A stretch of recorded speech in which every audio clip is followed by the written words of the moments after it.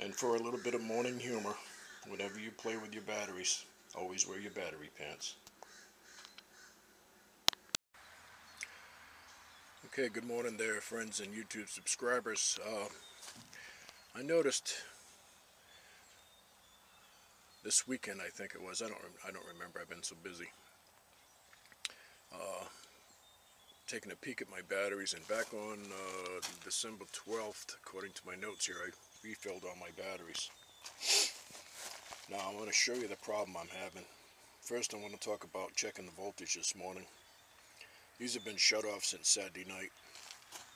This battery here is at 619, 624, 630, 629, 618, 624, 625, 625. Now interestingly enough, here's uh, the first battery in the string.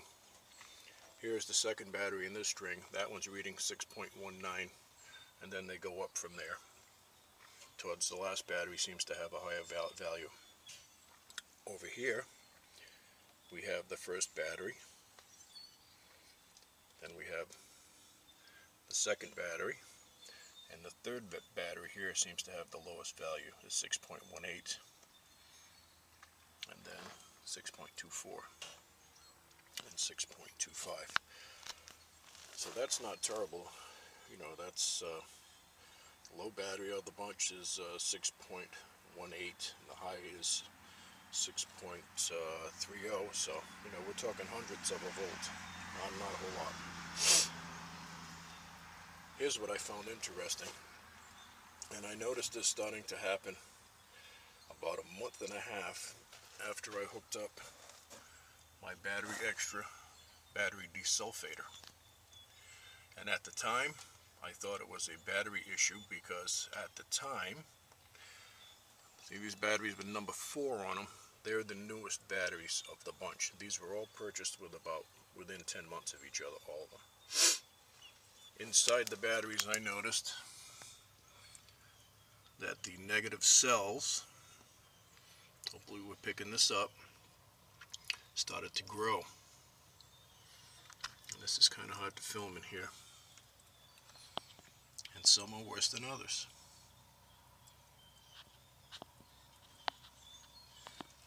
Let's see if I can find, and again, see? Hopefully I'm catching that. Look at the end. Look at the end cell on this one here. It's incredibly overgrown. Those are the negative plates, the gray plates. Now the positive plates, which are down lower, are nice and clean.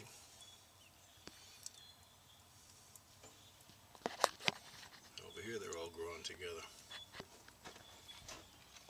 Now these batteries are set, I believe at the second recommendation in my Outback uh, charge control manual. They're performing fine, no issues with performance.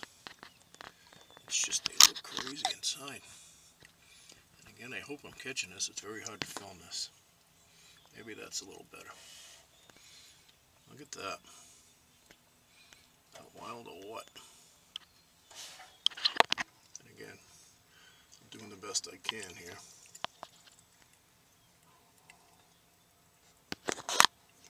tell with the camera. And again, look at this one.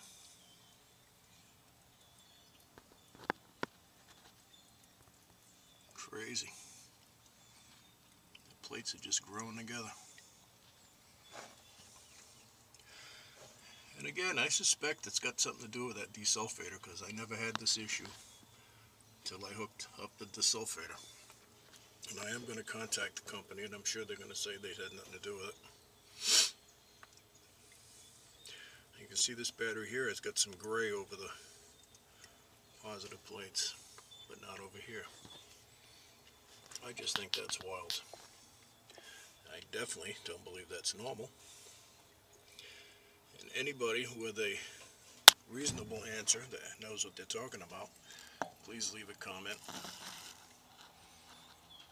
And I'm sure I'll get my usual trolls with their stupid ass comments. That's what you get when you have a channel.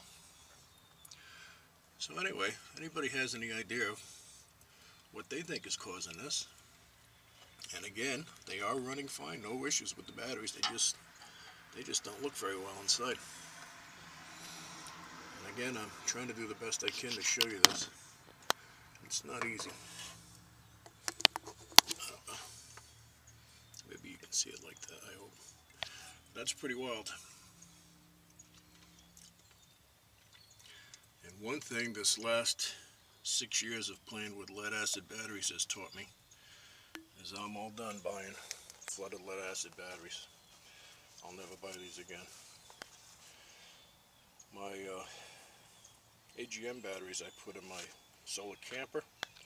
They've been in there now about seven months. I set them according to the factory specs on my uh, EP Solar 4215, which has been absolutely flawless, no issues whatsoever.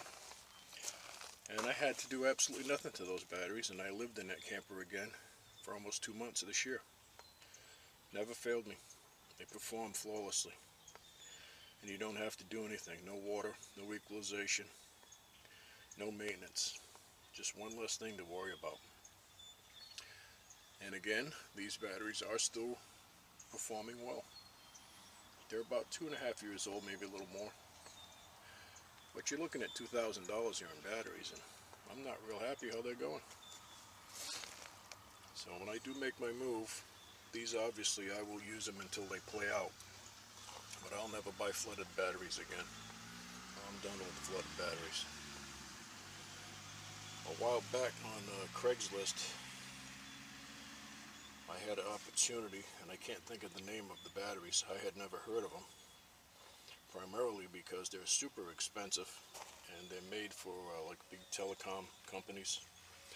And they were some of them were 2 volt cells all bolted together in a big steel case and some were 6 volt cells bolted together in a case.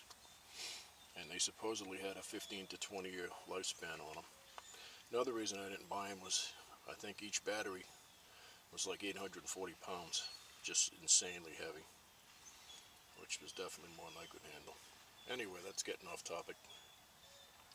So if anybody got any idea why these batteries are looking so crazy, I'd like to hear about it. I don't think that's normal. I've never seen a battery do that before.